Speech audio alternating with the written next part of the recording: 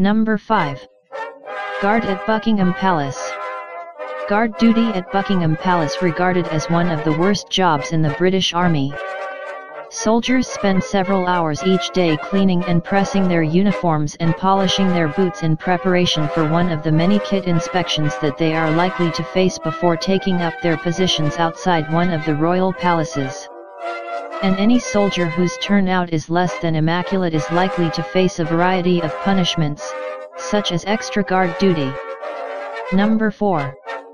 Pat Food Tester Second worst jobs in Pat Food Quality Tester, they pet food is formulated to contain all the nutrients required by a dog or cat, in the appropriate quantities and proportions to maintain good health.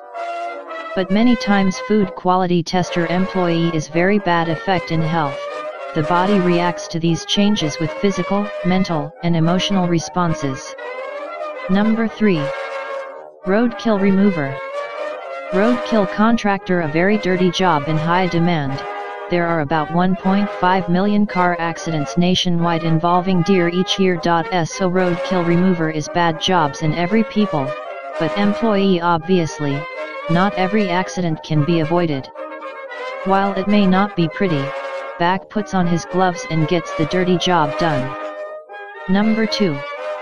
Rooftop Snow Shoveler Rooftop snow shoveler This jobs is very worst, there is always a person who looks at the window and prays to God asking to stop it all.